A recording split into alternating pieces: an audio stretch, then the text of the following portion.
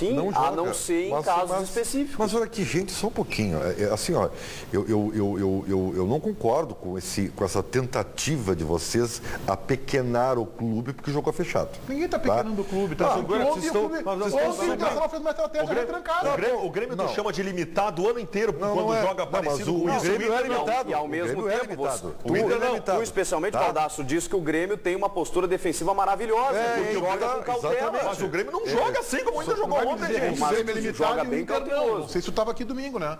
Os Não, dois são limitados. É que Grenal, é que vocês dois são limitados, O Grenal foi um jogo diferente. O Grenal foi um Gente, jogo mas- diferente. Mas não foi futebol? Foi o quê? Foi vôlei? Vou- Ah, é, eu tô entendendo, Vocês, vocês me Tu desculpem, entendeu? mas eu, eu quero, eu quero que- fazer questão de frisar isso. O time do Felipão, do Grêmio, que tem uma cautela, que é um jogo que é organizado defensivamente, nunca jogou como o Inter jogou ontem. Ah. Nunca jogou como o Inter jogou. Jogou mais uma vez. Nunca jogou como o Inter jogou. Seguinte, a gente vai falar sobre o caso da Alessandra e a ausência dele ontem lá no Morumbi, porque ela é emblemática, pelo menos na minha avaliação. Falou. Bom, o Leonel Lopes disse que foi um ponto com gosto de três. Maurício Meyer disse que o Inter teve mais sorte que o juízo porque a zaga segue falhando. Não sei o que fazem no treinamento que não sabem se posicionar em campo. E o Edu César disse que a arbitragem errou para os dois times. Mal demais. O impedimento triplo do Inter, até o Steve Wonder viu o que aconteceu e o pênalti no Neymar também existiu. Durante eh, vários programas esse ano, nós criticamos a direção do Internacional por preservar jogadores em, de- em detrimento a uma outra competição. Por exemplo, o Internacional na Copa do Brasil colocou um time misto focando no Campeonato Brasileiro. Depois na Sul-Americana fez a mesma coisa, acabou eliminado na primeira fase. E isso sempre foi contraditado pelos dirigentes do Internacional, dizendo que não, o Inter colocou o que havia de melhor, não há preservação. Aconteceu um episódio ontem que eu acho que desmente a tese da direção do clube. Porque o repórter Bruno Ravazoli conversou ontem no Morumbi com o médico Matheus Falcão sobre a ausência do Alessandro, que foi inesperada até certo ponto, que o jogador jogou o Granal inteiro domingo e na segunda-feira foi dito que, olha, ele não vai para São Paulo. Não, não teve uma- nenhuma lesão na partida durante o, o Granal. Isso foi inesperada a ausência do Alessandro. Vamos acompanhar Bruno Ravazoli conversando com o médico colorado Matheus Falcão. Foi lesão ou é uma preservação? Bom, na verdade, ele sentiu um desconforto e está sendo preservado. Digamos que se o D'Alessandro jogasse hoje aqui, o risco de ter uma lesão poderia crescer? Com certeza. Foi pensando nisso que a gente resolveu poupar. Se fosse, por exemplo, um jogo muito decisivo, uma final de campeonato, o D'Alessandro poderia atuar. Poderíamos arriscar, com certeza. Tá claro a posição do médico. Bom, o risco de lesão existe sempre em treinamento, existe o risco de lesão em descer uma escada, aliás, já aconteceu com o jogador de futebol, né? E o Bruno conversou com o vice-presidente de futebol do clube, Marcelo Medeiros, que tem uma outra versão. Vamos ver. D'Alessandro está sendo preservado do jogo contra o São Paulo? Não, o D'Alessandro sentiu. O D'Alessandro, nós ainda temos cinco jogos. Havia um risco muito sério de agravamento da lesão. Então não foi preservação. O D'Alessandro terá um- o acompanhamento do trabalho durante é, nessa semana no departamento médico e na fisioterapia e para estar em todas as condições para poder jogar os outros cinco jogos que faltam ainda no, no campeonato. Se fosse um jogo muito decisivo, ele jogaria? C não existe no futebol. Então esse jogo é, é muito decisivo, na opinião do senhor, esse jogo? Esse jogo é importante, como os outros cinco também. O doutor Matheus Falcão disse que se o jogo fosse muito decisivo, o D'Alessandro jogaria. Quem fala pelo futebol do Inter sou eu, não, o Dr. Matheus. Mas ele é o médico. Tem outros médicos também que recomendaram que ele não viesse pela partida. Quem determinou, D'Alessandro não vai. Doutor, ah, o Dr. Rabelo, que é o chefe do departamento. D'Alessandro joga domingo. Tem que ver o que, que o departamento médico vai, vai decidir. O doutor Matheus Falcão já disse que joga. Não sei, vamos ouvir o Dr. Rabelo. Então o senhor confirma que não foi preservado. Não, não foi preservado. O vice-futebol do Internacional, Marcelo Medeiros, publicamente desautorizou o médico a falar sobre lesões. Quem fala pelo departamento sou eu. As opiniões são absolutamente divergentes nas manifestações do médico, do clube, que já mostra um- um- uma situação aí de falta de planejamento, de, de estarem afinados, estarem com o mesmo discurso. Por quê? Porque é claro que é, é evidente que não é uma situação absolutamente clara. Houve uma reunião de certo departamento de futebol e aí a ideia foi de preservá-lo. Mas o Inter não quer assumir isso. O Inter que prefere dizer que o jogador está machucado. Primeiro que eu vou acreditar sobre lesão ou não lesão do jogador no médico, que é o especialista, mais do que num diretor Marcelo de Medeiros futebol. é advogado, aliás, é um bom advogado. Por- muito bem. Segundo, nós estamos diante de um escândalo.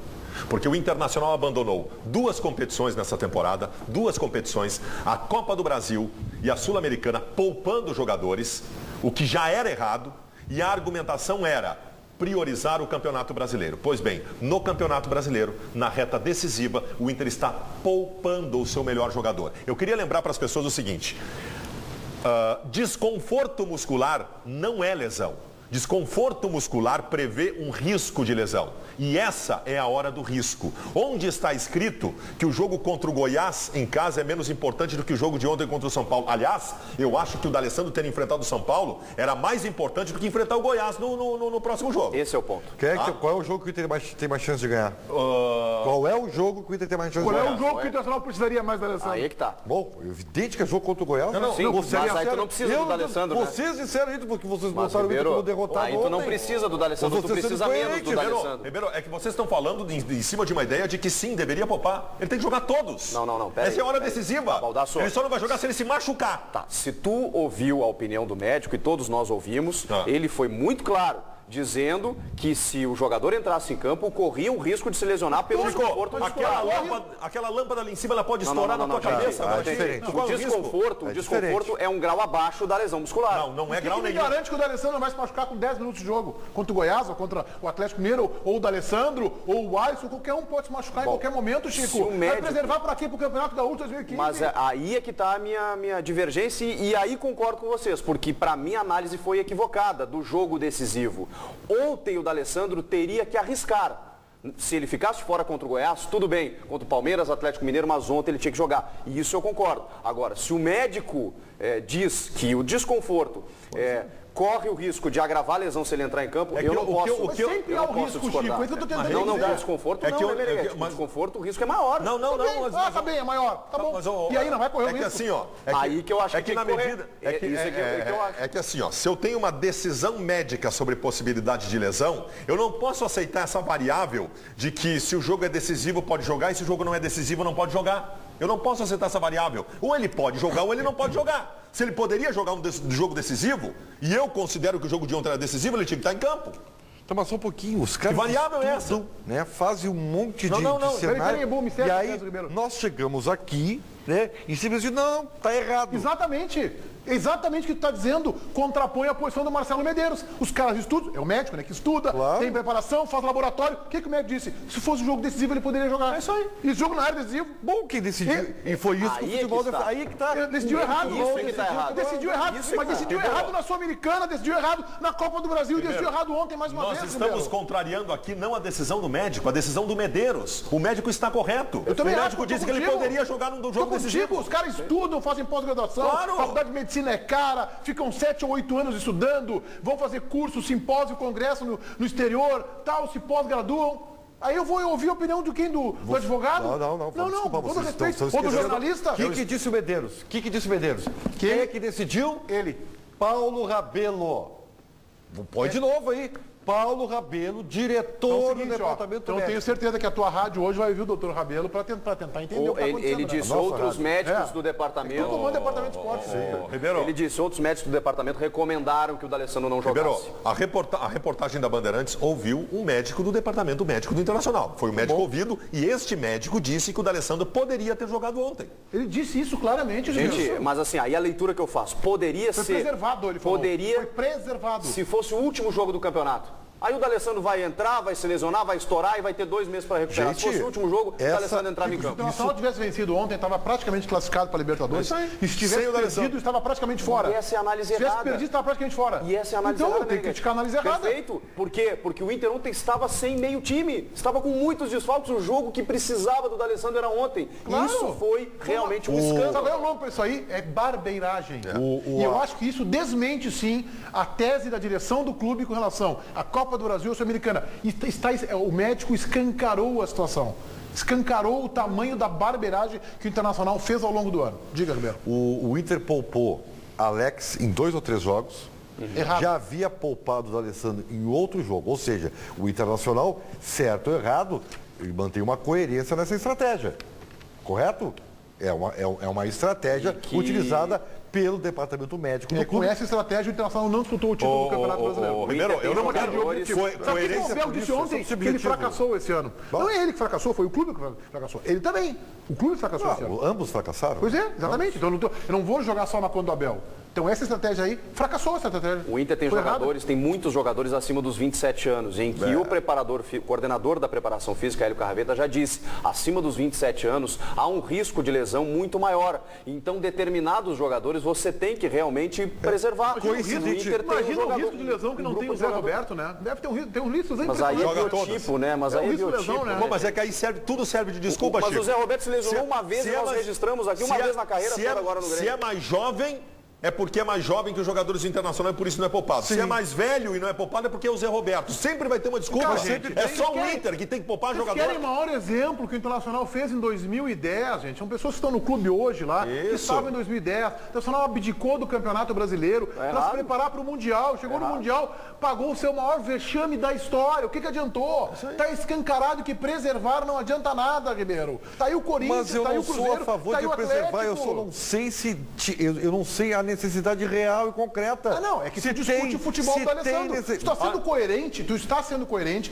com a tua tese esdrúxula de que o D'Alessandro não é importante pro Inter. Tá bem, eu aceito isso. Ribeiro, tá O. D'Alessandro ontem não ia modificar o Ribeiro, jogo do Internacional. Ah, Nós bom, não, bola nós estamos- Ah, não, mãe de Ná, não. O teu erro, o teu erro, ô, Ribeiro, é que tu tá desconsiderando a informação que nós temos nas mãos e acabamos de recuperar. O médico disse que ele poderia jogar. Mas eu não estou desconhecendo não, isso. tu tá, tu tá dizendo assim, eu não sei Nós até estamos- que ponto, não nós sei que estamos ponto o. Mas o médico disse que ele médico poderia disse jogar. que ele poderia jogar. Por que não jogar então? Somente, somente porque- no lugar. Não, não, porque ele não gosta de avião, da Ah, não, não, Agravaria não. a lesão. frase, a frase Agravaria você a está lesão. colocando, não colocando a frase inteira.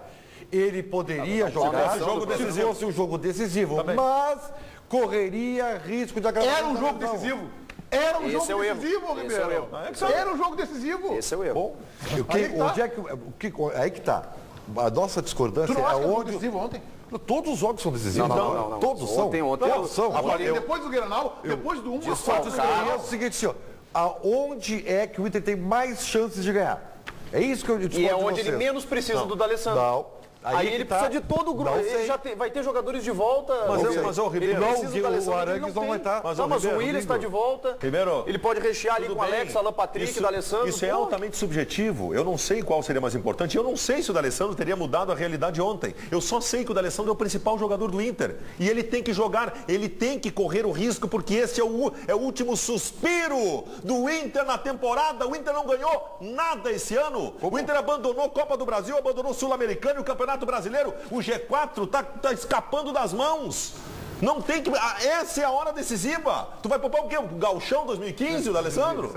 Não tem Não, é que assim, sabe o que é? eu acho assim, ó, a única discordância que eu tenho para vocês é o seguinte, ou, ou o Internacional é realmente, a direção do Inter é burra, né? ou, ou, ou nós estamos assim, só subjetivando a coisa. Então, tu acha que a direção do Inter não pensa isso também do D'Alessandro? Hã? Tu acha, que, tu acha que a direção, direção do Inter, não, não, eu o Abel dizer, Braga, a direção e olha, tá falando um cara aqui que não gosta Não. do D'Alessandro, tá? A direção- Tu acha então que o Marcelo Medeiros, Não, eu que o te- presidente Luigi, que o Abel Braga não gostam e podem abdicar do D'Alessandro? Eu vou te assim, dizer, numa boa. eu vou te dizer o que, que eu acho. A direção do Internacional e a comissão técnica do Inter, ambos são paternalistas com o grupo de jogadores. É a mesma direção e comissão técnica que deixou que eles não concentrassem Tá durante o querendo ano. dizer que o Qualquer- D'Alessandro é que decidiu que não vai Não, o D'Alessandro, ontem isso foi colocado na entrevista. Aqui nós pegamos uma parte da entrevista. O D'Alessandro aceitou a condição. O- o veto. o D'Alessandro em nenhum momento disse eu quero jogar. Ele não disse isso. Ele aceitou a condição de ficar de fora. Paloma. Olha, o Cláudio Matzenbacher disse que se esse jogo não era decisivo, então qual vai ser? Valia a vaga na Libertadores. E tem um pessoal aqui, Baldasso, cobrando a tua tese de ontem que o Inter ia ser goleado contra o São Paulo. Estou perguntando quantos gols o São Paulo fez ontem, afinal. Era, era a grande tendência, o Inter reverteu a tendência com uma estratégia pequena, que transformou o Inter no. Eu, não, eu acho que não é o Bragantino da, do Nabia Bichedi, Beneguete. Eu acho que é o Bragantino de hoje. Olha, essa é a minha discordância de ti. Essa é a minha, da Bia era bom, hein? é, essa é a minha discordância de ti. Eu, eu, não, eu não me sinto bem em comemorar o empate de ontem com o Inter jogando com aquela postura. Não, Não, a gente não tem me que sinto dizer bem. que o Abel nos surpreendeu com três zagueiros e que o seu, do ponto bem. de vista de tabela de pontuação, deu certo. Perfeito, perfeito. Ele Tu só ficou desconfortável e tal Perfeito. por ver o Inter tão encolhido, mas que deu certo, deu certo.